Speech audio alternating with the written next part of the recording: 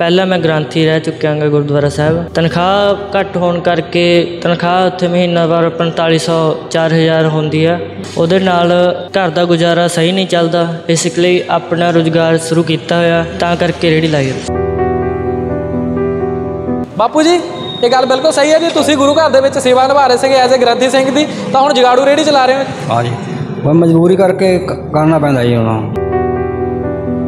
ਦੇਖੋ ਜੀ ਮੈਂ ਬੇਨਤੀ ਕਰਨੀ ਚਾਹੁੰਦਾ ਰਾਜ ਲੈਣ ਦਾ ਦਾਵਾ ਕਰਨ ਵਾਲਿਆਂ ਨੂੰ।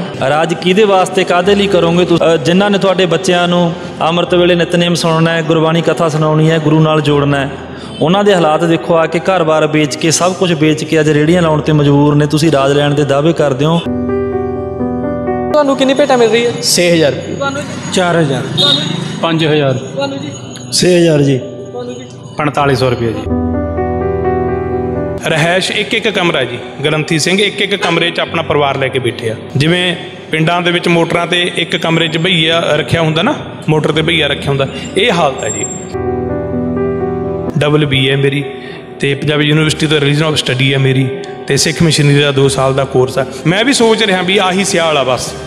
ਇਸ, ਹਾਂ, ਇਸ ਤੋਂ ਫਿਰ ਮੈਂ ਕੋਈ ਆਪਣਾ ਹੋਰ ਕੰਮ ਸ਼ੁਰੂ ਕਰੂੰਗਾ। ਜਿਹੜੇ ਹੁਣ ਮੇਰੇ ਕੋਲੇ 3-4 ਬੱਚੇ ਰਹਿੰਦੇ ਆ, ਉਹਨਾਂ ਦਾ ਕਹਿਣਾ ਇਹੀ ਹੈ ਵੀ ਸਾਨੂੰ ਜੇ ਲੈਣ 'ਚ ਸਾਡਾ ਭਵਿੱਖ ਨਹੀਂ ਦਿਸ ਰਿਹਾ, ਅਸੀਂ ਤਾਂ ਸੱਭਿਆਚਾਰਕ ਜਾਂ ਗਾਇਕਾਂ ਵਾਲੀ ਫੀਲਡ 'ਚ ਜਾਣਾ ਚਾਹੁੰਦੇ ਹਾਂ। ਦੱਸੋ ਕੀ ਕਹੀਏ, ਜਵਾਬ ਹੀ ਹੈ ਨਹੀਂ ਸਾਡੇ ਕੋਲ ਕਿ ਅਸੀਂ ਕੀ ਕਹਿ ਦਾਂਗੇ?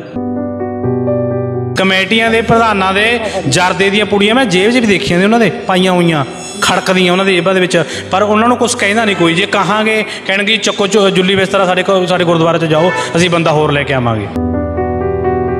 ਕਿੰਨਾ ਕੁ ਖਰਚਾ ਹੋ ਗਿਆ ਜੀ ਇਹਨਾਂ ਦੇ ਇਲਾਜ ਤੇ? ਖਰਚਾ ਤਾਂ ਬਹੁਤ ਹੋ ਗਿਆ ਜੀ ਇਹਦਾ ਖਰਚਾ ਸਭ ਕੁਝ ਵਿਕ ਗਿਆ ਜੀ ਹੁਣ ਖਰਚਾ ਰਹਿਣ ਰਹੀ ਨਹੀਂ ਕੋਈ। ਘਰ-ਬਾਰ ਵਿਕ ਗਿਆ ਜੀ। ਇਹਨਾਂ ਦਾ ਘਰ-ਬਾਰ ਸਾਰਾ ਕੁਝ ਵਿਕ ਗਿਆ ਸਾਰਾ ਕੁਝ ਵਿਕ ਗਿਆ। ਹਜੇ ਵੀ ਇਹ ਬੇਟਾ ਠੀਕ ਨਹੀਂ ਹੈ। ਇਹਨੂੰ ਖਾਣਾ ਪੀਣਾ ਕੁਝ ਵੀ ਮਤਲਬ ਉਹ ਨਹੀਂ ਹੁੰਦਾ ਪਚਦਾ ਨਹੀਂ ਹੈ।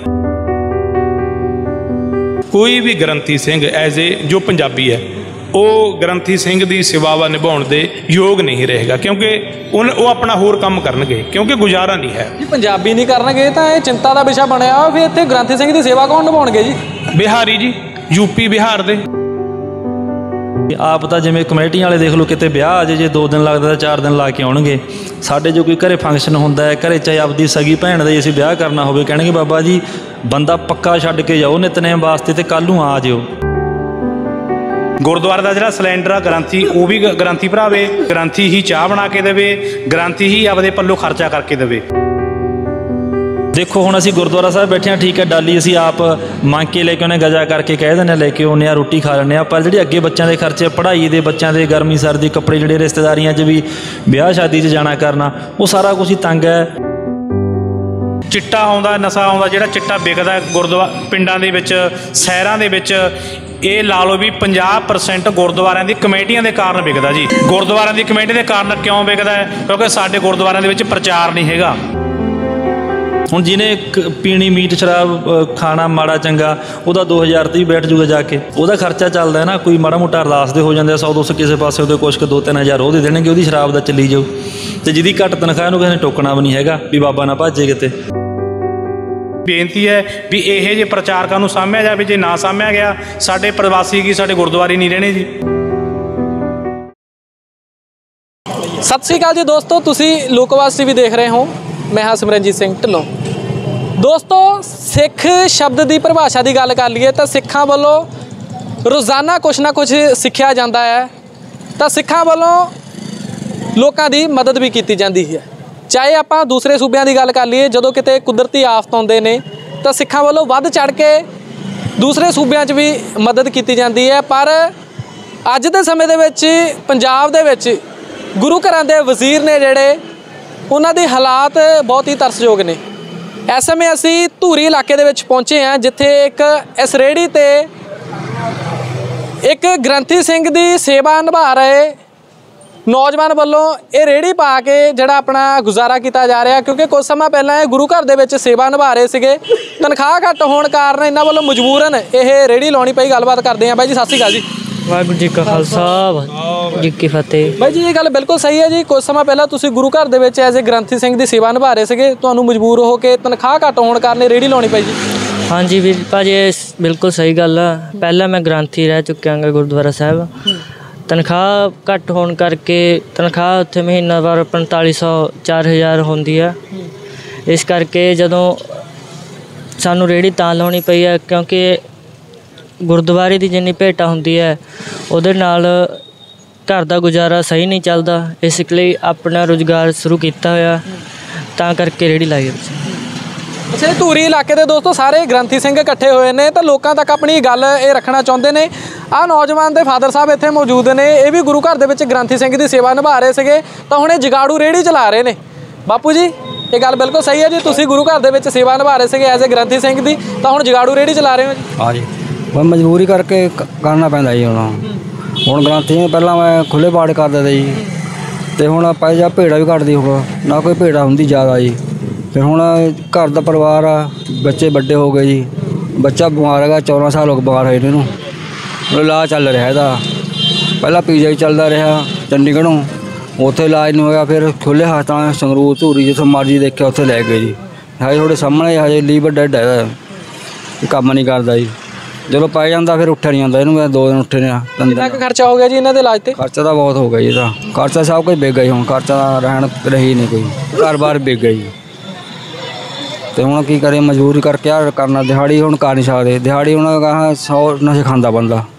ਤਾਂ ਕਰਕੇ ਉਹਨਾਂ ਕੋਲ ਬੈਠ ਨਹੀਂ ਸਕਦੇ ਨਾ ਖੜ ਸਕਦੇ ਆ ਉਹ ਬੋਲਦੇ ਪੁੱਠਾ ਨਾਲ ਨੂੰ, ਓਏ ਆ ਜਾ ਆ ਜਾ, ਵਗ ਜਾ। ਗ੍ਰੰਥੀ ਨੂੰ ਨਿਕਾ ਹੋਣਾ ਔਖਾ ਹੈ ਜੀ। ਇਸ ਕਰਕੇ, ਮਜਬੂਰੀ ਕਰਕੇ ਹੁਣ ਆਹ ਸਾਨੂੰ ਆਪਦਾ ਕਰਨਾ ਪਿਆ ਜੀ। ਬਿਲਕੁਲ ਜੀ ਹਾਂਜੀ ਭਾਈ ਜੀ ਕਿਵੇਂ ਦੇਖਦੇ ਹੋ ਜੀ? ਜਿਹੜਾ ਇਹ ਹਾਲਾਤ ਨੇ, ਇਹ ਗੁਰੂ ਘਰ ਦੇ ਵਜ਼ੀਰ ਇਹਨਾਂ ਨੂੰ ਗੁਰੂ ਘਰਾਂ ਦੇ ਵਿੱਚ ਹੋਣਾ ਚਾਹੀਦਾ ਸੀਗਾ। ਬੱਚਿਆਂ ਨੂੰ ਜਿਹੜੇ ਆਉਣ ਵਾਲੇ ਬੱਚੇ ਨੇ, ਇਹਨਾਂ ਨੂੰ ਇਤਿਹਾਸ ਪ੍ਰਤੀ ਜਾਗਰੂਕ ਕਰਨਾ ਚਾਹੀਦਾ ਸੀਗਾ ਪਰ ਅੱਜ ਇਹ ਰੇੜੀ ਲਗਾ ਕੇ ਖੜੇ ਨੇ ਜੀ। ਦੇਖੋ ਜੀ ਮੈਂ ਬੇਨਤੀ ਕਰਨੀ ਚਾਹੁੰਦਾ ਰਾਜ ਲੈਣ ਦਾ ਦਾਵਾ ਕਰਨ ਵਾਲਿਆਂ ਨੂੰ ਵੀ ਆਹ ਹਾਲਾਤ ਦੇਖੋ ਸਾਡੇ ਆ ਕੇ।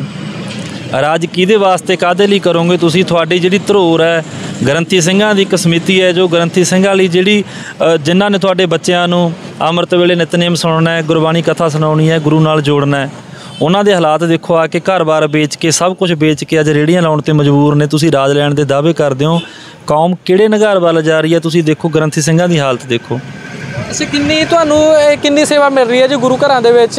ਐਜ਼ ਅ ਗ੍ਰੰਥੀ ਸਿੰਘ ਦੀ ਭੇਟਾ ਕਿੰਨੀ ਮਿਲ ਰਹੀ ਹੈ? ਜੀ ਜਿੱਥੇ ਮੈਂ ਡਿਊਟੀ ਕਰਦਾ ਤੋਂ 5 ਕਿਲੋਮੀਟਰ ਪਿੰਡ ਹੈ। ਉੱਥੇ 4000 ਰੁਪਏ ਮੇਰੀ ਤਨਖਾਹ ਹੈ। ਜਿੰਨੇ ਮੇਰੇ ਆਲੇ ਦਾਲੇ ਖੜਿਆ ਸਭ ਦੀ 4 5 10 ਤੋਂ ਉੱਤੇ ਤਾਂ ਕੋਈ ਨਹੀਂ 10 ਵੀ ਉਹ ਲੈ ਰਿਹਾ ਜਿਹੜਾ ਨਾਲ ਕਥਾ ਵੀ ਕਰਦਾ ਹੋਵੇ ਕੀਰਤਨ ਵੀ ਕਰਦਾ ਹੋਵੇ ਤੇ 24 ਘੰਟੇ ਨਾਲ ਸਾਰਾ ਕੁਝ ਪਹਿਰਾ ਵੀ ਹੋਵੇ ਉਹਦਾ।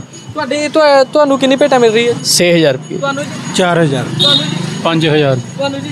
6000 ਜੀ। ਤੁਹਾਨੂੰ ਜੀ? 4500 ਰੁਪਏ ਜੀ। ਮੈਨੂੰ 10000 ਰੁਪਏ ਪਰ ਤਿੰਨ ਡਿਊਟੀਆਂ ਕਥਾ ਕੀਰਤਨ ਤੇ ਐਜ਼ ਏ ਗ੍ਰੰਥੀ ਸਿੰਘ। ਤੁਹਾਨੂੰ ਬਾਈ ਜੀ? 4000 ਤੁਹਾਨੂੰ ਜੀ?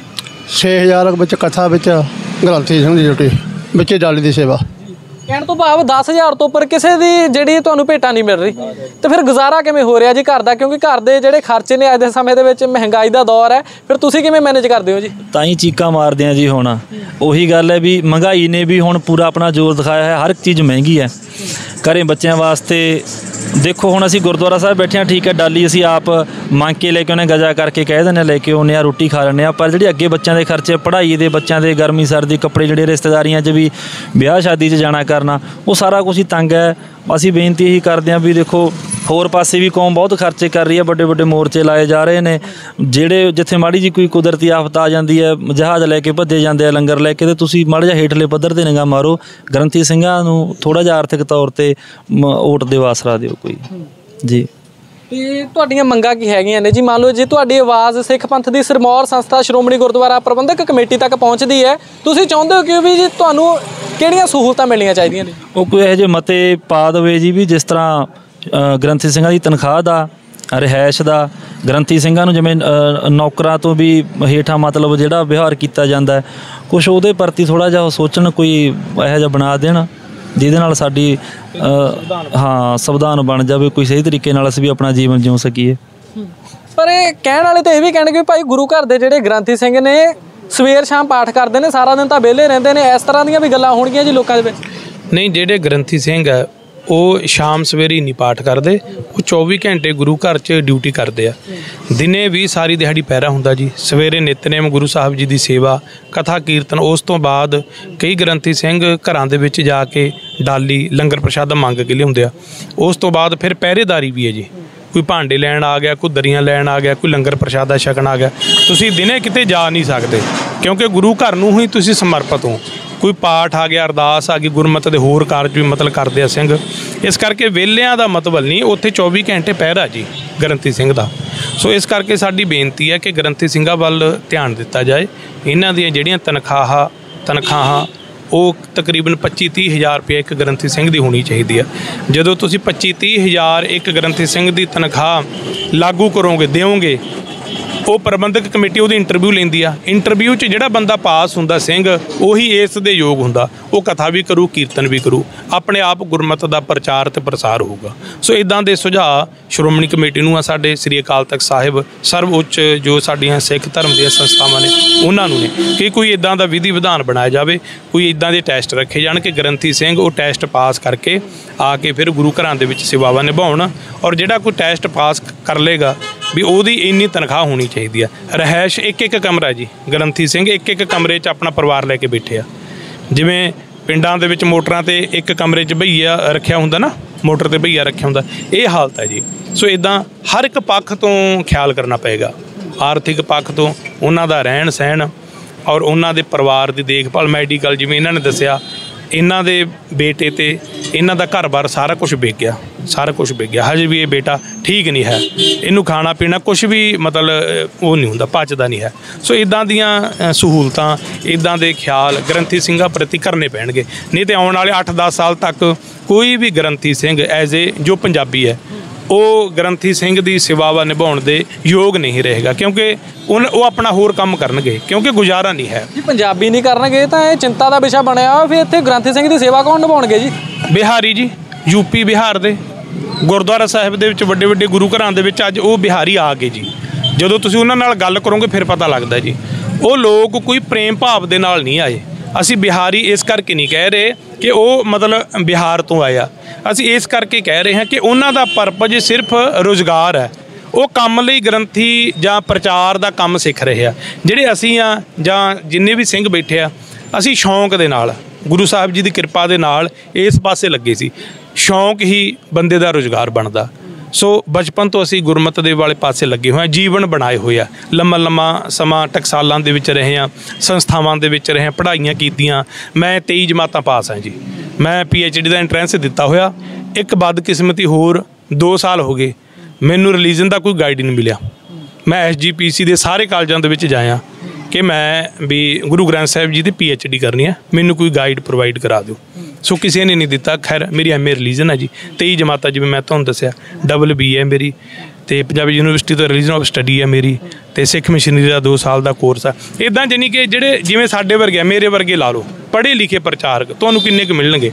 ਅਸੀਂ ਵੀ ਮਜਬੂਰ ਹੋਵਾਂਗੇ। ਮੈਂ ਵੀ ਸੋਚ ਰਿਹਾ ਵੀ ਆਹੀ ਸਿਆਲ ਆ ਬਸ। ਇਸ ਹਾਂ ਇਸ ਤੋਂ ਫਿਰ ਮੈਂ ਕੋਈ ਆਪਣਾ ਹੋਰ ਕੰਮ ਸ਼ੁਰੂ ਕਰੂੰਗਾ। ਕਿਉਂਕਿ ਇਸ ਪਾਸੇ ਸਾਡੀਆਂ ਲੋੜਾਂ ਪੂਰੀਆਂ ਨਹੀਂ ਹੋ ਰਹੀਆਂ। ਅੱਛਾ ਤੁਸੀਂ ਜ਼ਿਕਰ ਕੀਤਾ ਕਿ ਗੁਰੂ ਘਰਾਂ ਦੇ ਵਿੱਚ ਬਿਹਾਰੀ ਆਉਣਗੇ। ਪਰ ਕਹਿਣ ਵਾਲੇ ਤਾਂ ਇਹ ਵੀ ਕਹਿਣਗੇ ਕਿ ਸ੍ਰੀ ਗੁਰੂ ਗੋਬਿੰਦ ਸਿੰਘ ਜੀ ਮਹਾਰਾਜ ਜੀ, ਉਹਨਾਂ ਨੂੰ ਵੀ ਪਟਨਾ ਸਾਹਿਬ ਨਾਲ ਜੋੜਿਆ ਜਾਏਗਾ। ਵੀ ਉਹਨਾਂ ਦੀ ਫਿਰ ਵਿਚਾਰ ਚਰਚਾ ਨੂੰ ਤੁਸੀਂ ਕਿਵੇਂ ਦੇਖਦੇ ਹੋ ਜੀ? ਬਹੁਤ ਸਾਰੇ ਲੋਕ ਇਸ ਤਰ੍ਹਾਂ ਦੀਆਂ ਚਰਚਾਵਾਂ ਵੀ ਕਰਨਗੇ। ਨਹੀਂ, ਮੈਂ ਤੁਹਾਨੂੰ ਪਹਿਲਾਂ ਇਹ ਗੱਲ ਦੱਸਤੀ ਵੀ ਬਿਹਾਰੀ ਦਾ ਮਤਲਬ ਅਸੀਂ ਉਹਨਾਂ ਨਾਲ ਕੋਈ ਹੀਣ ਭਾਵਨਾ ਨਹੀਂ ਕਰਦੇ। ਕੋਈ ਪ੍ਰੇਮ ਦੇ ਵਿੱਚ ਆਏ, ਕੋਈ ਗੁਰਸਿੱਖੀ ਤੋਂ ਪ੍ਰਭਾਵਿਤ ਹੋ ਕੇ ਗੁਰਸਿੱਖ ਬਣ ਕੇ ਸੇਵਾ ਕਰੇ, ਸਾਨੂੰ ਕੋਈ ਇਤਰਾਜ਼ ਨਹੀਂ।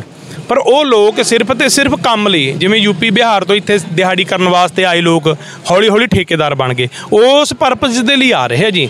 ਪ੍ਰੇਮ ਨਾਲ ਕੋਈ ਆਏ ਸਾਨੂੰ ਕੋਈ ਨਹੀਂ। ਸਾਨੂੰ ਕੋਈ ਨਹੀਂ ਪਿਆਰ ਦੇ ਨਾਲ ਕੋਈ ਆ ਕੇ ਪਰ ਉਹ ਇੱਕ ਉਹਨਾਂ ਦਾ ਬਿਜ਼ਨਸ ਹੈ ਜੀ।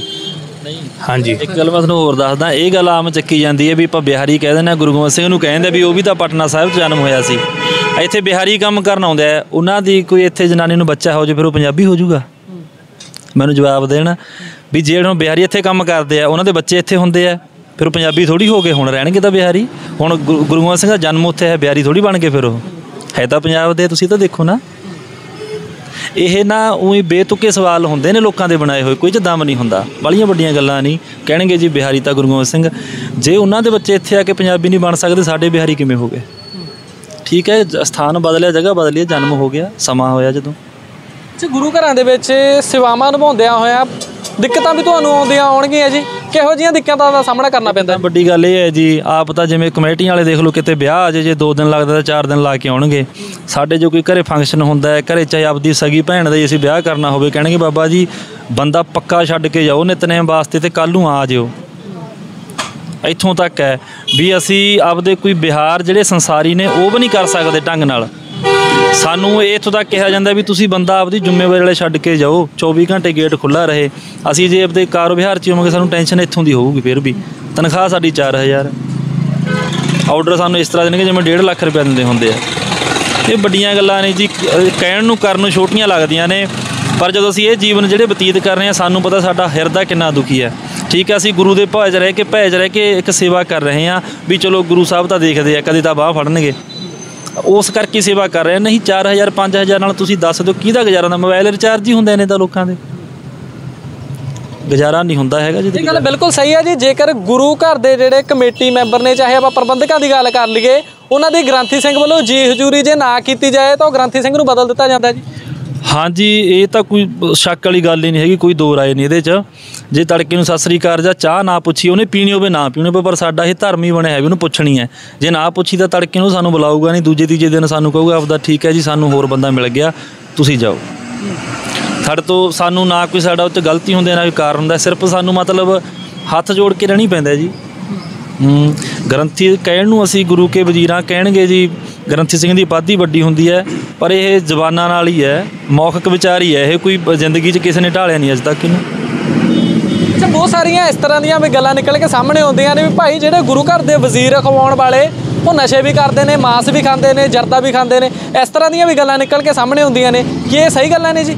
ਬਹੁਤ ਹੋਣਗੇ ਜੀ ਪਰ ਉਹ ਗਲਤ ਹੈ। ਜਿਹੜੇ ਹੈਗੇ ਨੇ ਉਹਨਾਂ ਤੇ ਰੋਕ ਲਾਈ ਜਾਵੇ ਉਹਨਾਂ ਨੂੰ ਗਾਹਾਂ ਤੋਂ ਕਿਤੇ ਨੇੜੇ ਤੇੜੇ ਡਿਊਟੀ ਨਾ ਦਿੱਤੀ ਜਾਵੇ ਅਸੀਂ ਕਹਿੰਦੇ ਇਹ ਚੀਜ਼। ਹਾਂ ਜੇ ਇੱਥੋਂ ਮਾਸ ਵਾਲਾ ਖਾਣ ਵਾਲਾ ਕੋਈ ਪੱਟ ਕੇ ਤੁਸੀਂ ਇੱਥੋਂ ਭੇਜਤਾ 4 ਕਿਲੋਮੀਟਰ ਤੇ ਬੈਠਾ ਹੁੰਦਾ ਕੋਈ ਗੌਰ ਤਾਂ ਕਰਦਾ ਨਹੀਂ। ਸਿਰਫ ਇਹ ਚਾਹੀਦਾ ਵੀ ਅਗਲਾ ਪੈਸੇ ਘੱਟ ਲਵੇ। ਹੁਣ ਜਿਹਨੇ ਕ- ਪੀਣੀ ਮੀਟ, ਸ਼ਰਾਬ ਖਾਣਾ ਮਾੜਾ ਚੰਗਾ, ਉਹਦਾ 2000 ਤੇ ਹੀ ਬੈਠ ਜੂਗਾ ਜਾ ਕੇ। ਉਹਦਾ ਖਰਚਾ ਚੱਲਦਾ ਹੈ ਨਾ, ਕੋਈ ਮਾੜਾ ਮੋਟਾ ਅਰਦਾਸ ਦੇ ਹੋ ਜਾਂਦੇ ਆ 100 200 ਕਿਸੇ ਪਾਸੇ ਉਹਦੇ ਕੁਛ ਕੁ 2-3000 ਉਹ ਦੇ ਦੇਣਗੇ, ਉਹਦੀ ਸ਼ਰਾਬ ਦਾ ਚੱਲੀ ਜਾਊ। ਤੇ ਜਿਹਦੀ ਘੱਟ ਤਨਖਾਹ ਨੂੰ ਕਿਸੇ ਨੇ ਟੋਕਣਾ ਵੀ ਨਹੀਂ ਹੈਗਾ, ਵੀ ਬਾਬਾ ਨਾ ਭੱਜੇ ਕਿਤੇ। ਜੀਵਨ ਵਾਲੇ ਬੰਦਿਆਂ ਨੂੰ ਰੱਖਦੇ ਨਹੀਂ ਹੈਗੇ ਜੀ, ਜੀਵਨ ਵਾਲੇ ਬੰਦਿਆਂ ਦੀ ਕਦਰ ਨਹੀਂ ਕਰਦੇ ਹੁਣ। ਅਸੀਂ ਵੀ ਕਿੰਨਾ ਕੁ ਚਿਰ ਦੇਖਾਂਗੇ। ਆ ਬਾਈ ਹੋਰੀ ਖੜਿਆ ਰੇੜੀ ਰਾਹੀਂ ਕੱਲ ਨੂੰ ਸਾਡਾ ਵੀ ਸਮਾਂ ਇਹੀ ਹੈ। ਮੇਰੇ ਸ਼ਾਗਿਰਦ ਮੇਰੇ ਕੋਲੇ ਤਿੰਨ ਚਾਰ ਸਿੱਖਦੇ ਆ। ਵੈਸੇ ਤਾਂ ਮੈਂ ਹੁਣ ਤੱਕ 11 ਮੇਰੇ ਸ਼ਾਗਿਰਦ ਜਿਹੜੇ ਵੱਖ-ਵੱਖ ਥਾਵਾਂ ਤੇ ਡਿਊਟੀ ਕਰਦੇ ਕੁਝ ਸਰੰਗੀ ਮਾਸਟਰ ਨੇ ਕੁਝ ਤਬਲਾ ਬਾਦਕ ਨੇ। ਚਲੋ ਜਿੰਨੀ ਗੁਰੂ ਸਾਹਿਬ ਨੇ ਵਿਦਿਆ ਦਿੱਤੀ, ਆਪਾਂ ਫਰੀ ਕਿਸੇ ਤੋਂ ਪੈਸੇ ਨਹੀਂ ਲਏ। ਅਸੀਂ ਵੀ ਫਰੀ ਸਿੱਖੀ ਸੀ, ਅੱਗੇ ਸਿਖਾ ਵੀ ਫਰੀ ਰਹੇ ਆ ਜਿਹੜੇ ਹੁਣ ਮੇਰੇ ਕੋਲੇ ਤਿੰਨ ਚਾਰ ਬੱਚੇ ਰਹਿੰਦੇ ਆ, ਉਹਨਾਂ ਦਾ ਕਹਿਣਾ ਇਹੀ ਹੈ ਵੀ ਸਾਨੂੰ ਜੇ ਲੈਣ 'ਚ ਸਾਡਾ ਭਵਿੱਖ ਨਹੀਂ ਦਿਸ ਰਿਹਾ, ਅਸੀਂ ਤਾਂ ਸੱਭਿਆਚਾਰਕ ਜਾਂ ਗਾਇਕਾਂ ਵਾਲੀ ਫੀਲਡ 'ਚ ਜਾਣਾ ਚਾਹੁੰਦੇ ਆ ਦੱਸੋ ਕੀ ਕਹੀਏ ਜਵਾਬ ਹੀ ਹੈ ਨਹੀਂ ਸਾਡੇ ਕੋਲੇ ਕਿਸੇ ਕੀ ਕਹਿ ਦਾਂਗੇ? ਵੀ ਨਾ ਜਾ ਲੋਕ ਗੁਰੂ ਘਰ ਦੇ ਵਜ਼ੀਰਾਂ ਤੇ ਸਵਾਲ ਖੜੇ ਕਰਦੇ ਨੇ ਵੀ ਭਾਈ ਇਹ ਨਸ਼ੇ ਕਰਦੇ ਨੇ ਜਾਂ ਜਿਹੜੀ ਮਰਿਆਦਾ ਨੂੰ ਭੰਗ ਕਰਦੇ ਨੇ। ਪਰ ਗੁਰੂ ਘਰ ਦੀਆਂ ਜਿਹੜੀਆਂ ਕਮੇਟੀਆਂ ਆ ਉਹ ਤਾਂ ਸਹੀ ਹੋਣਗੀਆਂ ਜੀ। ਉਹ ਵੀ ਪੂਰੇ ਜਿਹੜੇ ਬਾਣੇ ਦੇ ਵਿੱਚ ਹੋਣਗੇ ਸਾਰੇ ਅੰਮ੍ਰਿਤਧਾਰੀ ਹੋਣਗੇ ਜੀ। ਨਹੀਂ ਜੀ ਨਹੀਂ ਨਹੀਂ। ਬਿਲਕੁਲ ਨਹੀਂ ਜੀ ਬਿਲਕੁਲ ਬਿਲਕੁਲ ਨਹੀਂ ਜੀ। 90% ਬਗੈਰ ਅੰਮ੍ਰਿਤ ਤੋਂ ਨੇ ਫਿਰ ਮੁੰਨੇ ਵਾਲੇ ਕਮੇਟੀਆਂ ਦੇ ਵਿੱਚ।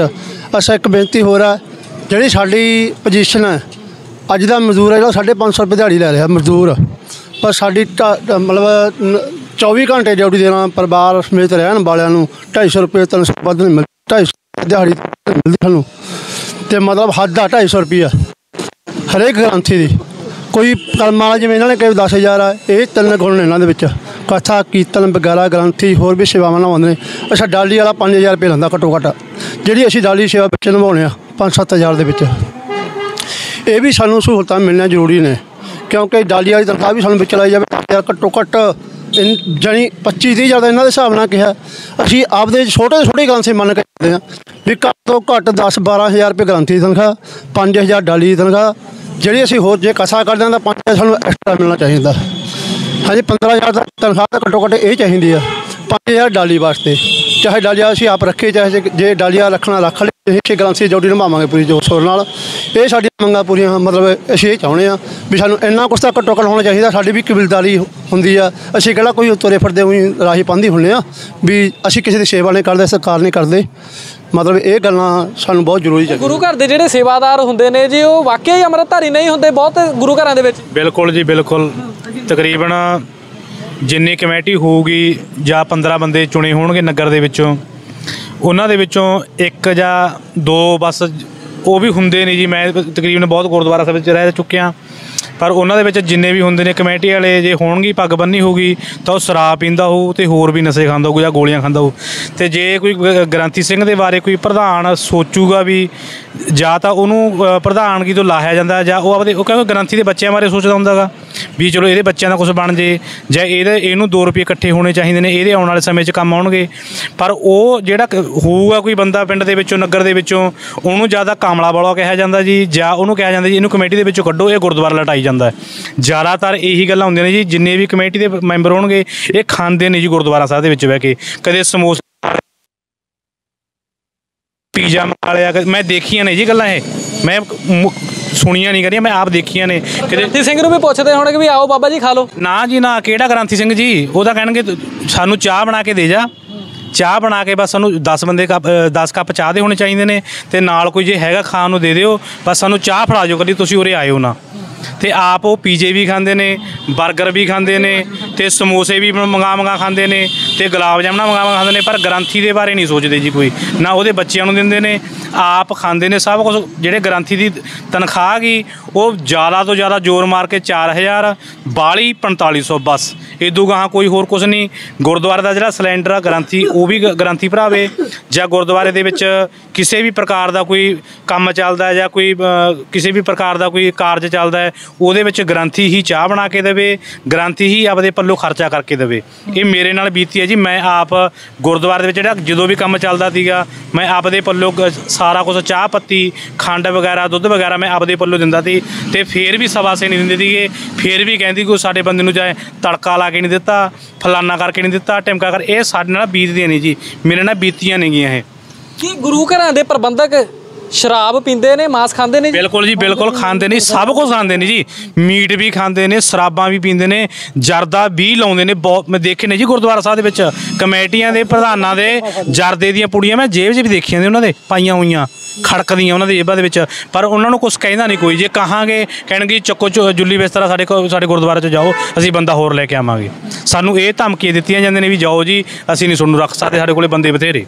ਉਹਨਾਂ ਕੋਲੇ ਆ ਵੀਰ ਜੀ ਗੱਲ ਕਰਕੇ ਨੇ ਫਿਰ ਉਹ ਆਉਂਦੇ ਨੇਗੇ, ਉਹ ਉਹਨਾਂ ਦੇ ਲੱਤਾਂ ਵੀ ਘੁੱਟਦੇ ਨੇ ਹੈਲੋ ਨਮਸਤੇ ਵੀ ਕਹਿੰਦੇ ਨੇ, ਉਹਨਾਂ ਦੇ ਚਾਹ ਵੀ ਬਣਾ ਕੇ ਦਿੰਦੇ ਨੇ, ਉਹ ਉਹੇ ਜਿਹੇ ਗ੍ਰੰਥੀ ਚੰਗੇ ਲੱਗਦੇ ਨੇ, ਜਿਹੜੇ 3-3000 ਤੇ 25-2500 ਤੇ, ਉਹਨਾਂ ਦਾ ਸਾਰੇ, ਸਾਰਾ ਕੰਮ ਕਰਦੇ ਨੇ। ਆਉਂਦਿਆਂ ਨੂੰ ਸਤਿ ਸ੍ਰੀ ਅਕਾਲ ਬੁਲਾਉਂਦੇ ਨੇ, ਜਾਂਦਿਆਂ ਨੂੰ ਸਤਿ ਸ੍ਰੀ ਅਕਾਲ ਬੁਲਾਉਂਦੇ ਨੇ, ਆਉਂਦਿਆਂ ਨੂੰ ਚਾਹ ਪੁੱਛਦੇ ਨੇ। ਇਹ ਗ੍ਰੰਥੀ ਇਹੋ ਜਿਹੇ ਭਾਲਦੇ ਨੇ ਵੀ ਸਾਡੇ ਇਹੋ ਜਿਹਾ ਹੋਣਾ ਚਾਹੀਦਾ। ਜਿਵੇਂ ਸਾਡੇ ਵੀਰ ਜੀ ਦੇਖੋ ਬਹੁਤ ਚੜ੍ਹਦੀ ਕਲਾ ਵਾਲੇ ਸਿੱਖ ਨੇ। ਸਿੰਘ ਨੇ ਇਹਨਾਂ ਨੂੰ ਤਕਰੀਬਨ ਆਏ ਲਾ ਲਓ ਵੀ ਕਥਾਵਾਚਕ ਵੀ ਨੇ, ਕੀਰਤਨ ਵੀ ਕਰਦੇ ਨੇ ਤੇ ਕਥਾ ਵੀ ਕਰਦੇ ਨੇ। ਮੈਂ ਸੁਣਿਆ ਇਹਨਾਂ ਦਾ ਪ੍ਰੋ- ਕਥਾ ਸੁਣੀ ਹੈ, ਪਰ ਇਹਨਾਂ ਦੀ ਜਿਹੜੀ ਤਨਖਾਹ ਗਈ ਇਹ ਆਪਦੇ ਤਾਪਲੇ ਵਾਲ ਨੂੰ ਵੀ ਉਹਦੇ ਵਿੱਚੋਂ ਤਨਖਾਹ ਦੇ ਵਿੱਚੋਂ ਤਾਪਲੇ ਵਾਲ ਨੂੰ ਵੀ ਦਿੰਦੇ ਨੇ ਤੇ ਆਪਦਾ ਵੀ ਗੁਜ਼ਾਰਾ ਕਰਦੇ ਨੇ। ਪਰ ਜਿਹੜੇ ਇਹੋ ਜਿਹੇ ਵੀਰ ਨੇ, ਇਹੋ ਜਿਹੇ ਸਿੱਖ, ਸਿੰਘ ਨੇਗੇ, ਕੀਰਤਨ ਕਰਨ ਵਾਲੇ, ਕਥਾ ਕਰਨ ਵਾਲੇ, ਇਹਨਾਂ ਦੀ ਤਨਖਾਹ ਤਕਰੀਬਨ ਵੱਧ ਤੋਂ ਵੱਧ ਘੱਟ ਤੋਂ ਘੱਟ 20000 ਰੁਪਏ ਹੋਣੀ ਚਾਹੀਦੀ ਹੈ ਜੀ। 20 ਤੋਂ ਘੱਟ ਨਹੀਂ ਹੋਣੀ ਚਾਹੀਦੀ ਜੀ ਬੇਨਤੀ ਹੈ ਵੀ ਇਹ ਜੇ ਪ੍ਰਚਾਰਕਾਂ ਨੂੰ ਸਾਂਭਿਆ ਜਾਵੇ ਜੇ ਨਾ ਸਾਂਭਿਆ ਗਿਆ ਸਾਡੇ ਪ੍ਰਵਾਸੀ ਕੀ ਸਾਡੇ ਗੁਰਦੁਆਰੇ ਨਹੀਂ ਰਹਿਣੇ ਜੀ। ਸਾਡੇ ਐਂ ਲਾ ਲਓ ਗੁਰਦੁਆਰਿਆਂ ਦੇ ਵਿੱਚ ਤਾਲੇ ਲੱਗਣਗੇ ਤੇ ਆਉਣ ਵਾਲੇ ਸਮੇਂ ਦੇ ਵਿੱਚ ਨਾ ਗੁਰਦ ਨਾ ਪਿੰਡ ਦੇ ਵਿੱਚ ਬੱਚਾ ਕੋਈ ਸਿੱਖ ਮਿਲੂ ਨਾ ਹੀ ਗ੍ਰੰਥੀਆਂ ਦੇ ਬੱਚੇ ਸਿੱਖ ਬਣਨਗੇ। ਸਾਡਾ ਸਾਡੇ ਬੱਚੇ ਕੋਈ ਨਹੀਂ ਬਣਦੇ ਜੀ। ਮੈਂ ਇੱਕ ਗੁਰ ਮੈਂ ਪਿੰਡ ਦਾ ਨਾਮ ਨਹੀਂ ਲੈਣਾ ਚਾਹੁੰਦਾ। ਮੈਂ ਇਹ ਬੇਨਤੀ ਕਰਨਾ ਚਾਹੁੰਦਾ ਮੈਂ ਇੱਕ ਪਿੰਡ ਦੇ ਵਿੱਚ ਮੇਰੇ ਕੋਲੇ ਫੋਟੋ ਵੀ ਪਈ ਹੈ ਜੀ ਆ ਦੇਖੋ। ਆ ਕੈਮਰੇ ਵਾਲੇ ਵੀਰ ਨੂੰ ਬੇਨਤੀ ਹੈ ਜੀ ਥੋੜੀ ਨਿਗਾਹ ਮਾਰਿਓ। ਮੇਰੇ ਕੋਲੇ ਆ ਬੱਚੇ ਪੜ੍ਹਦੇ ਸੀ ਜੀ। ਆ ਦੇਖੋ, ਮੇਰੇ ਕੋਲੇ ਬੱਚੇ ਪੜ੍ਹਦੇ ਸੀ ਇਹ। ਮੈਂ ਆ ਦੇਖੋ ਜੀ, ਆ ਬੱਚੇ ਮੇਰੇ ਕੋਲੇ ਪੜ੍ਹਦੇ ਸੀ ਜੀ। ਇਹਨਾਂ ਨੂੰ ਮੈਂ ਤਕਰੀਬਨ 6 ਮਹੀਨੇ ਇਹਨਾਂ ਬੱਚਿਆਂ ਨੂੰ ਟ੍ਰੇਨਿੰਗ ਦਿੰਦਾ ਰਿਹਾ ਗੁਰਬਾਣੀ ਦੇ ਪ੍ਰਤੀ।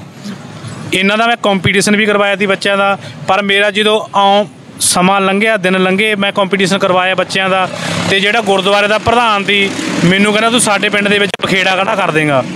ਮੈਨੂੰ ਕਹਿੰਦਾ ਮੈਂ ਬੱਚੇ, ਮੈਂ ਕਿਹਾ ਜੀ, ਮੈਂ ਕਿਹੜਾ ਗੱਲ ਕਹਿਣਾ ਨਹੀਂ ਚਾਹੁੰਦਾ ਜੀ, ਮੈਂ ਕਿਹੜਾ ਤੀਵੀਆਂ ਦੇ ਵਿੱਚ ਖੜਦਾ ਸੀਗਾ ਜਾਂ ਮੈਂ ਕਿਹੜਾ ਬੰਦਿਆਂ ਦੇ ਵਿੱਚ ਖੜਦਾ ਸੀ। ਮੈਂ ਤਾਂ ਮੇਰੇ ਕੋਲੇ ਕੋਈ 10 ਸਾਲ ਦਾ ਬੱਚਾ ਆ ਗਿਆ, ਕੋਈ 3 ਸਾਲ ਦਾ ਬੱਚਾ ਆ ਗਿਆ, ਕੋਈ 2-4 ਸਾਲ ਦਾ ਬੱਚਾ ਆ ਗਿਆ। ਉਹਨਾਂ ਬੱਚਿਆਂ ਨੂੰ ਪੜਾਉਂਦਾ ਸੀ ਤੇ ਉਹਨਾਂ ਬੱਚਿਆਂ ਨੂੰ ਗੁਰਬਾਣੀ ਸਿਖਾਉਂਦਾ ਸੀ, ਜਿਹੋ ਜਿਹਾ ਮੈਨੂੰ ਆਉਂਦਾਗਾ। ਪਰ ਉਹਨਾਂ ਨੇ ਮੈਨੂੰ ਜਿਹੜਾ ਜਿਹੜਾ ਇਨਾਮ ਦਿੱਤਾ, ਕਹਿੰਦੀ ਜੀ, ਤੁਸੀਂ ਸਾਡੇ ਸਾਡੇ ਪਿੰਡ ਦੇ ਵਿੱਚ ਬਖੇੜਾ ਖੜਾ ਕਰੋਗੇ, ਸਾਡੇ ਪਿੰਡ 'ਚ ਲੜਾਈ ਖੜੀ ਕਰੋਗੇ। ਮਹਾ ਜੀ, ਮੈਂ ਪ੍ਰਧਾਨ ਸਾਹਿਬ ਜੀ, ਮੈਂ ਕਿਹੜਾ ਕੋਈ ਮਾੜੇ ਕੰਮ ਕਰਦਾ, ਬੱਚਿਆਂ ਨੂੰ ਗੁਰਬਾਣੀ ਦੇ ਨਾਲ ਹੀ ਜੋੜਦਾ। ਬੱਚਿਆਂ ਨੂੰ ਗੁਰਬਾਣੀ ਦੇ ਲੜ ਹੀ ਲਾਉਣਾ। ਤੇ ਮੈਨੂੰ ਇਹ, ਮੈਂ ਬੇਨਤੀ ਕਰਦਾ ਜੀ, ਜਿਹੜੇ ਬੱਚੇ ਗ- ਗ੍ਰੰਥੀ ਜਾਂ ਗੁਰਦੁਆਰਾ ਸਾਹਿਬ ਦੇ ਵਿੱਚ ਰਹਿੰਦੇ ਨੇ, ਉਹਨਾਂ ਨੂੰ ਇਹੋ ਜਿਹੀਆਂ ਗੱਲਾਂ ਦੇ ਬਜਾਏ ਉਹਨਾਂ ਦੀ ਤਨਖਾਹ ਵਧਾਈ ਜਾਵੇ। ਮੈਂ ਆਪ ਦੀ ਗੱਲ ਨਹੀਂ ਕਰਦਾ ਜੀ, ਮੈਂ ਤਾਂ ਦੇਖੋ ਡਿਊਟੀ ਕਰਦਾ ਨਹੀਂ। ਮੈਂ ਸੜਤੀ ਅੱਕ ਕੇ ਛੱਡੀ ਹੈ ਜੀ ਡਿਊਟੀ ਮੈਂ। ਮੈਂ ਕਹਿੰਦਾ ਵੀ ਜਿਹੜੇ ਸਾਡੇ ਗ੍ਰੰਥੀ ਰਹਿੰਦੇ ਨੇ ਗੁਰਦੁਆਰਾ ਸਾਹਿਬ ਦੇ ਵਿੱਚ ਜਿਹੜੀ ਵੀ ਡਿਊਟੀ ਕਰਦੇ ਨੇ ਉਹਨਾਂ ਨੂੰ ਸਾਂਭ ਲਓ ਨਹੀਂ ਤਾਂ ਸਾਡੇ ਆਉਣ ਵਾਲਾ ਸਮਾਂ ਖਤਮ ਆ ਜੀ ਸਿੱਧੀ ਗੱਲ ਬੱਚਿਆਂ ਨੂੰ ਕੀਰਤਨ ਸਿਖਾਉਣ ਦਾ ਕਹਿੰਦੇ ਗ੍ਰੰਥੀ ਸਿੰਘ ਨੂੰ ਇਨਾਮ ਦਿੱਤਾ ਜਾਂਦਾ ਹੈ ਤੁਹਾਨੂੰ ਇਨਾਮ ਕੀ ਮਿਲਿਆ ਜੀ? ਮੈਨੂੰ ਇਨਾਮ ਮਿਲੇ ਜੀ ਜੁੱਤੀਆਂ। ਮੈਨੂੰ 76 ਇਨਾਮ ਮਿਲੇ ਨੇ ਮੈਨੂੰ ਮਹਾਰਾਜ ਦੇ ਤਾਬੇ ਖੜ ਕੇ ਕਹਿੰਦਾ ਕੋਈ ਸਾਡੇ ਪਿੰਡ ਦੇ ਵਿੱਚ ਕਹਿੰਦਾ ਬਖੇੜਾ ਖੜਾ ਕਰ ਦੇਗਾ। ਇੱਕ ਗ੍ਰੰਥੀ ਹੋਣ ਦੇ ਬਾਵਜੂਦ ਮੇਰਾ ਫਰਜ਼ ਬਣਦਾ ਸੀ ਵੀ ਬੱਚਿਆਂ ਨੂੰ ਚੰਗੇ ਰਸਤੇ ਪਾਵਾਂ। ਮੈਂ ਵੀ ਪਾਵਾਂ ਚੰਗੇ ਰਸਤੇ ਤੇ ਬੱਚਿਆਂ ਨੂੰ ਵੀ ਪਾਵਾਂ। ਆਉਣ ਵਾਲੇ ਸਮੇਂ ਦੇ ਵਿੱਚ ਬੱਚੇ ਚੰਗੇ ਰਸਤੇ ਪੈਣ। ਨਸ਼ਾ ਜਿਹੜਾ ਜੀ ਨਸ਼ਾ ਅੱਜ ਚਿੱਟਾ ਆਉਂਦਾ, ਨਸ਼ਾ ਆਉਂਦਾ, ਜਿਹੜਾ ਚਿੱਟਾ ਵਿਕਦਾ ਗੁਰਦੁਆਰਾ ਪਿੰਡਾਂ ਦੇ ਵਿੱਚ, ਸ਼ਹਿਰਾਂ ਦੇ ਵਿੱਚ, ਇਹ ਲਾ ਲਓ ਵੀ 50% ਗੁਰਦੁਆਰਿਆਂ ਦੀ ਕਮੇਟੀਆਂ ਦੇ ਕਾਰਨ ਵਿਕਦਾ ਜੀ। ਗੁਰਦੁਆਰਿਆਂ ਦੀ ਕਮੇਟੀ ਦੇ ਕਾਰਨ ਕਿਉਂ ਵਿਕਦਾ ਕਿਉਂਕਿ ਸਾਡੇ ਗੁਰਦੁਆਰਿਆਂ ਦੇ ਵਿੱਚ ਪ੍ਰਚਾਰ ਨਹੀਂ ਹੈਗਾ। ਗੁਰਦੁਆਰਿਆਂ ਦੇ ਵਿੱਚ ਜਿਹੜਾ ਪ੍ਰਚਾਰ ਹੋਣਾ ਸੀ, ਉਹ ਪ੍ਰਚਾਰ ਕੱਲਾ ਨਿਤਨੇਮ ਰਹਿ ਗਿਆ ਜੀ। ਨਿਤਨੇਮ ਨਾਲ ਸੁਣ ਕੇ ਥੋੜੋ ਗੁਰਬਾਣ, ਅਗਲਾ ਪਾਰ ਉਤਾਰਾ ਹੋਊਗਾ। ਉਹਦਾ ਗੁਰਬਾਣੀ ਨੂੰ ਪੜ੍ਹ ਕੇ ਤੇ ਸੁਣ ਕੇ ਪੜਾਂਗੇ ਸੁਣਾਂਗੇ, ਜਦੋਂ ਨੂੰ ਸੁਣ ਕੇ ਮਨ ਦੇ ਵਿੱਚ ਵਸਾਵਾਂਗੇ, ਫੇਰ ਪਾਰ ਉਤਾਰਾ ਉਹ ਫੇਰ ਜਿਹੜਾ ਜੀਵਨ ਬਣੂਗਾ। ਅਸੀਂ ਇਕੱਲੇ ਨਿਤਨੇਮ ਕਰੀ ਜਾਂਦੇ ਆ ਸ਼ਾਮ ਸਵੇਰੇ ਨਿਤਨੇਮ ਕਰਤਾ, ਬਸ ਕੱਲਾ ਜਾਂ ਖੰਡ ਪਾਠ ਕਰਤਾ ਜਾਂ ਸਹਿਜ ਪਾਠ ਕਰਤਾ, ਜਿਹੜਾ ਉਹਦਾ ਦੱਸਣਾ ਸੀ, ਗੁਰਬਾਣੀ ਕਹਿੰਦੀ ਕੀ ਹੈ, ਉਹ ਭਾਈ ਜੀ ਨੇ ਦੱਸਣਾ ਸੀ, ਗ੍ਰੰਥੀ ਸਾਹਿਬ ਨੇ ਦੱਸਣਾ ਸੀ ਕਿ, ਉਹ ਕਹਿੰਦੇ ਜੀ, ਇਹ ਦੱਸਿਓ ਨਾ ਸਾਨੂੰ, ਇਹ ਲੋੜ ਨਹੀਂ।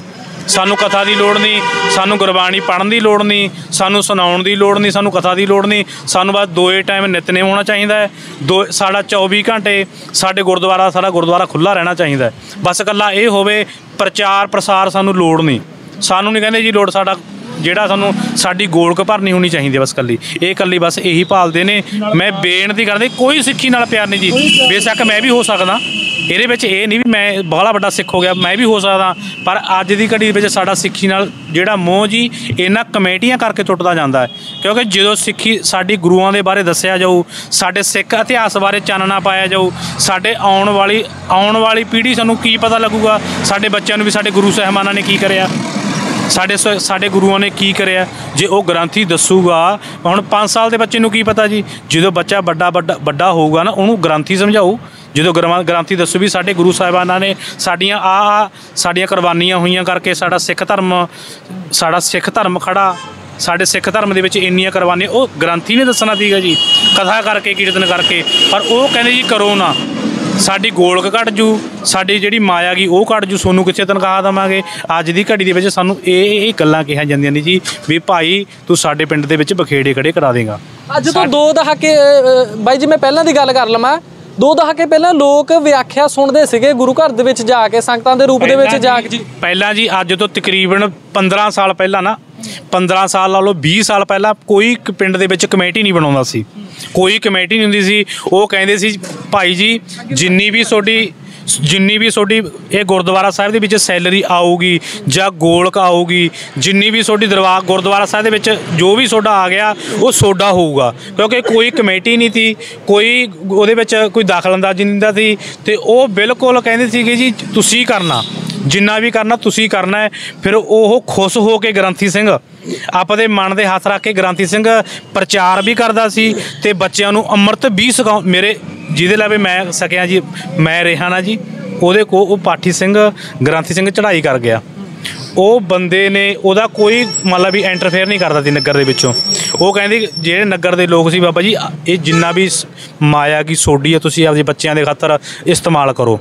ਪਰ ਤੁਸੀਂ ਇਹ ਦੇਖੋ ਵੀ ਗੁਰਦੁਆਰੇ ਦੇ ਵਿੱਚ ਕੀ ਕਰਨਾ ਚਾਹੀਦਾ। ਉਹ ਬੰਦੇ ਨੇ ਆ ਲਾ ਲਓ ਜੀ ਤਕਰੀਬਨ ਮੇਰੀ ਜੇ- ਮੈਂ ਦੇਖਿਆ 200 ਬੱਚਾ ਜੀ ਉਹਨੇ ਉਹ ਸਮੇਂ ਦੇ ਵਿੱਚ ਅੱਜ ਤੋਂ 15 ਸਾਲ ਪਹਿਲਾਂ ਉਹ ਬੰਦੇ ਨੇ 200 ਬੱਚਾ ਗੁਰਬਾਣੀ ਦੇ ਨਾਲ ਜੋੜਦਾ ਸੀ। ਅੰਮ੍ਰਿਤ 50 ਜਾਣੇ ਤਾਂ ਸੱਕ ਕੇ ਆਏ ਸੀ ਜੀ ਰਾਮ ਨਾਲ। ਯਾ ਅੱਜ ਦੇ ਸਮੇਂ ਦੇ ਵਿੱਚ ਲੋਕ ਕਿਉਂ ਬੇਮੁਖ ਹੋ ਰਹੇ ਨੇ? ਚਾਹੇ ਆਪਾਂ ਸਿੱਖੀ ਤੋਂ ਲਾ ਲਈਏ। ਬੇਮੁਖ ਤਾਂ ਤਾਂ ਹੁੰਦੇ ਨੇ ਜੀ। ਗੁਰਦੁਆਰੇ ਦੇ ਵਿੱਚ ਮੈਂ ਤੁਹਾਨੂੰ ਬੇਨਤੀ ਪਹਿਲਾਂ ਕਰਕੇ ਹਟਿਆ ਵੀ ਜੇ ਪ੍ਰਚਾਰ ਹੋਊਗਾ ਤਾਂ ਹੋਊਗਾ। ਪ੍ਰਚਾਰ ਕਮੇ ਗੁਰਦੁਆਰੇ ਦੇ ਵਿੱਚ ਗ੍ਰੰਥੀ ਤਾਂ ਕਰ ਸਕੂਗਾ ਜੀ। ਗ੍ਰੰਥੀ ਨੂੰ ਆਰਡਰ ਹੋਣਗੇ। ਆਰਡਰ ਨਹੀਂ ਮਿਲਦੇ ਜੀ ਉਹ ਕਹਿੰਦੇ ਜੀ ਸਾਤੋਂ ਜਿੰਨਾ ਚਿਰ ਅਸੀਂ ਨਹੀਂ ਕਹਿੰਦੇ ਉਹਨਾਂ ਚਿਰ ਤੁਸੀਂ ਕਰ- ਕੀਰਤਨ ਨਹੀਂ ਕਰਨਾ ਉਹਨਾਂ ਚਿਰ ਕਥਾ ਨਹੀਂ ਕਰਨੀ। ਪ੍ਰਚਾਰ ਕਰਨ ਦੀ ਮਨਾਹੀ ਤੁਸੀਂ ਆਪਣੇ ਤੌਰ ਤੇ ਕਾਰਨ ਕੀ ਮੰਨਦੇ ਹੋ? ਪ੍ਰਬੰਧਕਾਂ ਵੱਲੋਂ ਤੁਹਾਨੂੰ ਨਿਰਦੇਸ਼ ਕਿਉਂ ਦਿੱਤੇ ਜਾਂਦੇ ਨੇ ਵੀ ਭਾਈ ਪ੍ਰਚਾਰ ਨਹੀਂ ਕਰਨਾ ਗੁਰੂ ਘਰਾਂ ਦੇ ਵਿੱਚ? ਉਹ ਗੱਲਾਂ ਜੇ ਪ੍ਰਚਾਰ ਦੇਖੋ ਜੀ। ਦੇਖੋ ਜਿਹੜੀ ਤੁਸੀਂ ਗੱਲ ਕਹੀ ਹੈ ਨਾ ਵੀ ਆਰਡਰ ਕਿਉਂ ਦਿੱਤੇ ਜਾਂਦੇ ਆ ਕਿਉਂਕਿ ਜਿਹੜਾ ਗੁਰਮਤ ਦਾ ਪ੍ਰਚਾਰ ਹੈ ਉਹ ਸਾਰਿਆਂ ਲਈ ਸਾਂਝਾ ਹੁੰਦਾ।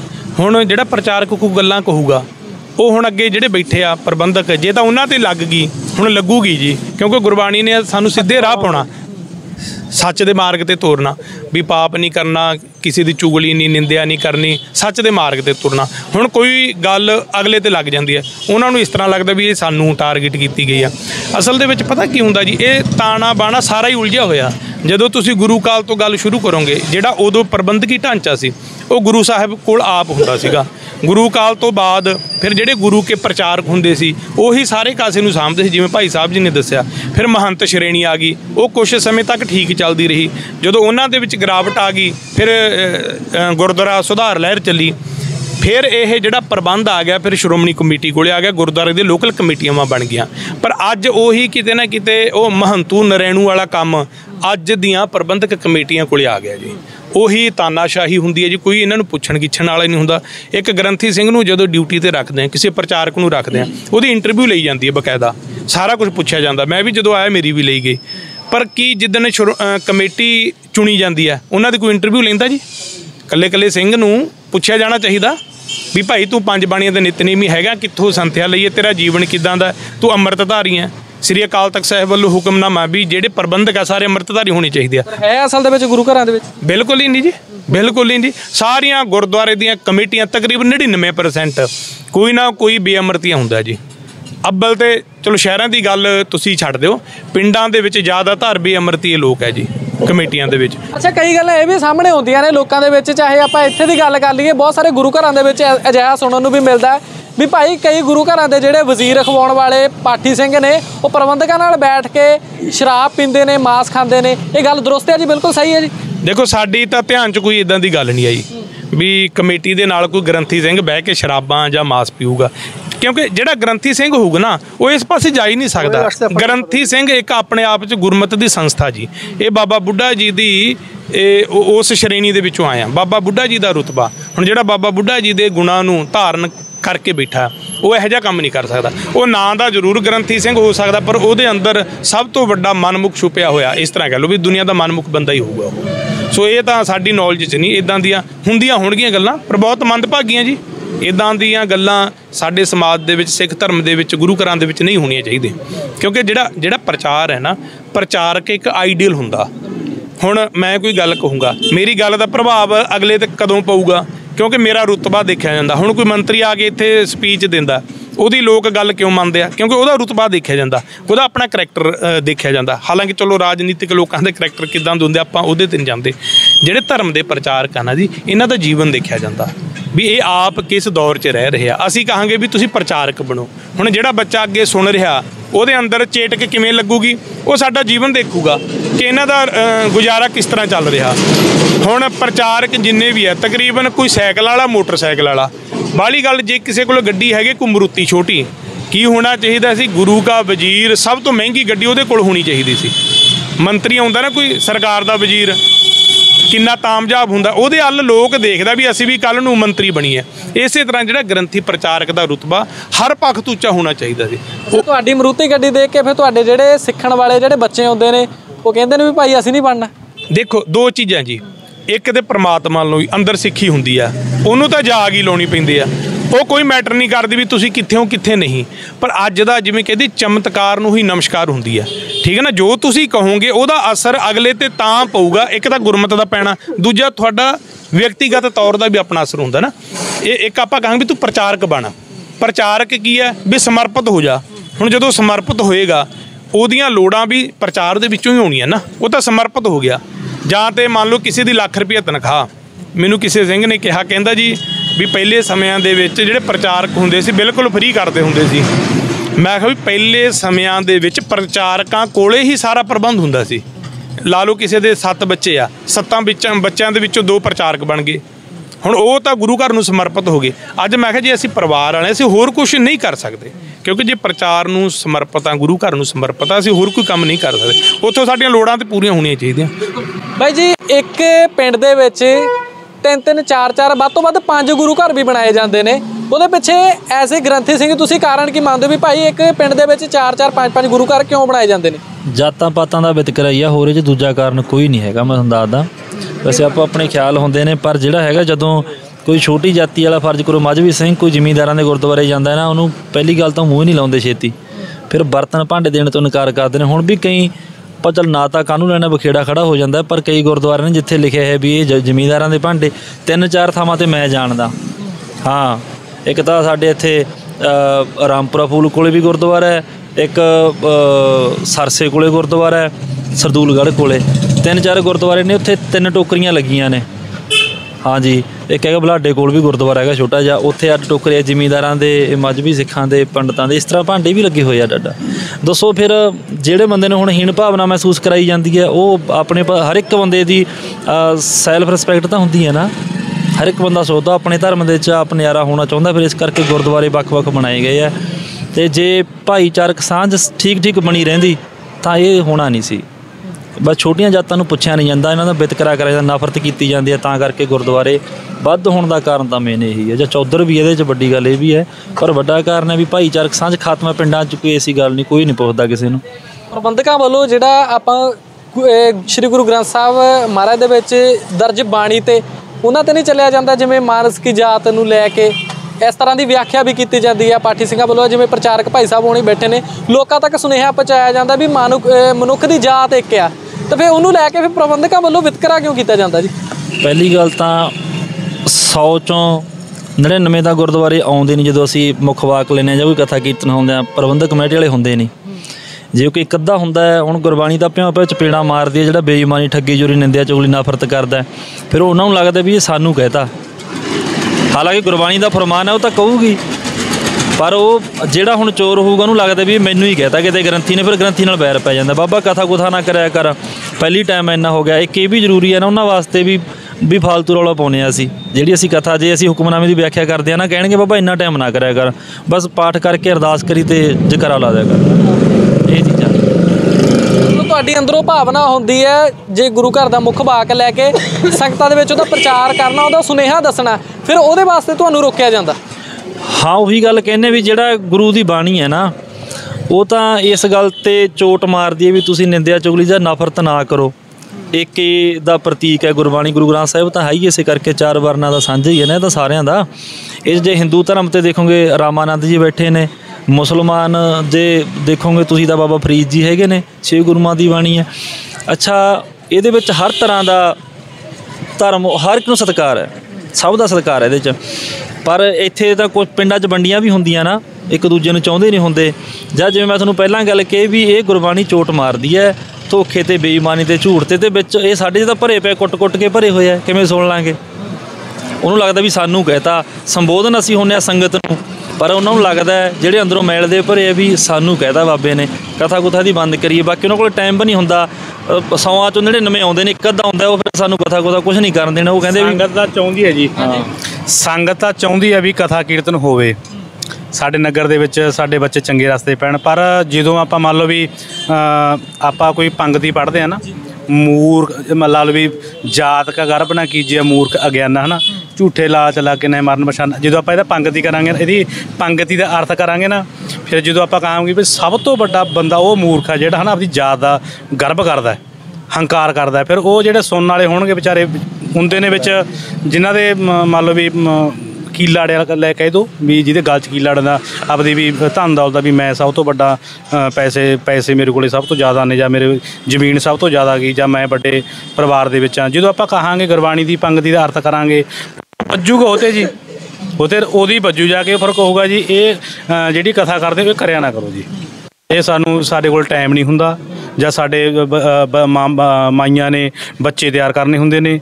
ਜਾਂ ਸਾਡੇ ਕੰਮਾਂ ਤੇ ਜਾਣਾ। ਉਹ ਮਾਈਆਂ ਦੇ ਅਸੀਂ ਜਾਣਦੇ ਹਾਂ, ਵਿੱਚ ਵਿਚਰਦੇ ਹਾਂ। ਉਹ ਕਹਿਣਗੇ, ਬਾਬਾ ਜੀ ਕਥਾ ਕਿਉਂ ਨਹੀਂ ਕਰੀ ਅੱਜ ਤੁਸੀਂ ਨੇ? ਜਦੋਂ ਡਾਲੀ ਲੈਣ ਜਾਵਾਂਗੇ ਨਾ ਅਸੀਂ ਨਗਰ ਦੇ ਵਿੱਚ, ਬਾਬਾ ਜੀ ਕਥਾ ਕਿਉਂ ਨਹੀਂ ਕਰੀ? ਬਾਬਾ ਜੀ ਕਥਾ ਕਾਹਤੋਂ ਅੱਜ ਕ- ਕਥਾ ਕਿਉਂ ਬੰਦ ਕਰਤੀ? ਉਹ ਸਾਨੂੰ ਸਵਾਲ ਪੁੱਛਦੇ ਨੇ, ਕੋਈ ਨਗਰ ਦਾ ਵਸਨੀਕ ਕੋਈ ਨਹੀਂ ਕਹਿੰਦਾ ਜੀ ਕਥਾ ਨਾ ਹੋਵੇ। ਉਹ ਭਾਲਦੇ ਨੇ ਜੀ ਸਾਡੇ ਨਗਰ 'ਚ ਕਥਾ ਹੋਵੇ।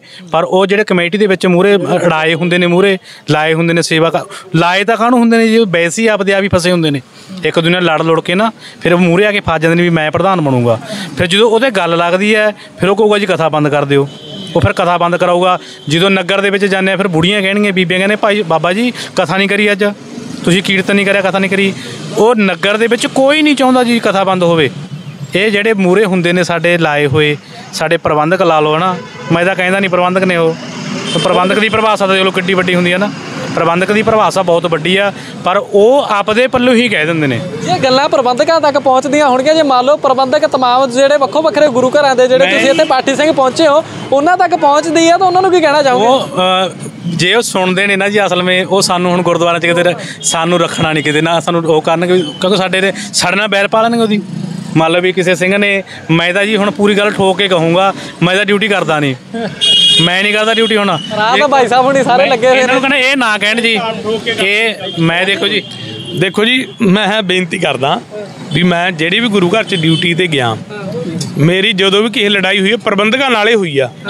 ਆ ਕੋਈ ਸਾਡੇ 'ਚ ਗਲਤੀ ਨਹੀਂ ਸੀ ਹੁੰਦੀ। ਅੱਜ ਵੀ ਮੈਂ ਠੋਕ ਕੇ ਗੱਲ ਕਹਿਣਾ ਮੈਂ ਸ਼ਰੇਆਮ ਕਹਿਣਾ ਵੀ ਕਿਸੇ ਪ੍ਰਬੰਧਕ ਦੇ ਗਿੱਟੇ ਲੱਗੇ ਗੋਡੇ ਲੱਗੇ ਕੀਤੇ ਸੱਚ ਕਹਿਣਾ ਜੇ ਆਪਾਂ ਆਪਣੇ ਜਿਹੜੀ ਆਪਣੀ ਡਿਊਟੀ ਹੈ ਨਾ ਉਹਨੂੰ ਸਹੀ ਤਰੀਕੇ ਨਾਲ ਨਹੀਂ ਨਿਭਾਉਂਦੇ ਫਿਰ ਆਪਾਂ ਗੁਰੂ ਨਾਲ ਵੀ ਧੋਖਾ ਕਰ ਰਹੇ ਹਾਂ ਆਪਣੇ ਆਪ ਨਾਲ ਵੀ। ਹਾਂਜੀ ਬਾਈ ਜੀ ਕੀ ਕਹਿੰਦੇ ਸੀਗੇ ਤੁਸੀਂ? ਮੈਂ ਇਹ ਬੇਨਤੀ ਕਰਨਾ ਚਾਹਣਾ ਜੀ ਦੇਖੋ ਜਿਹੜੇ ਮੈਨੂੰ ਸੁਣ ਰਹੇ ਨੇ ਜਾਂ ਤੁਹਾਡੇ ਮਾਧਿਅਮ ਤੁਹਾਡੇ ਚੈਨਲ ਹਨਾ ਪ੍ਰਬੰਧਕ ਸੁਣਦੇ ਨੇ ਉਹ ਅਸਲ ਵਿੱਚ ਜਾਂ ਮੈਂ ਕਿਤੇ ਖੰਡ ਪਾਠ ਤੇ ਜਾਊਂਗਾ ਜਾਂ ਕਿਤੇ ਡਿਊਟੀ ਲਾਊਂਗਾ ਉਹ ਪੱਕਾ ਮੇਰੇ ਨਾਲ ਜਿੱਦ ਬਹਿਸ ਕਰਨਗੇ।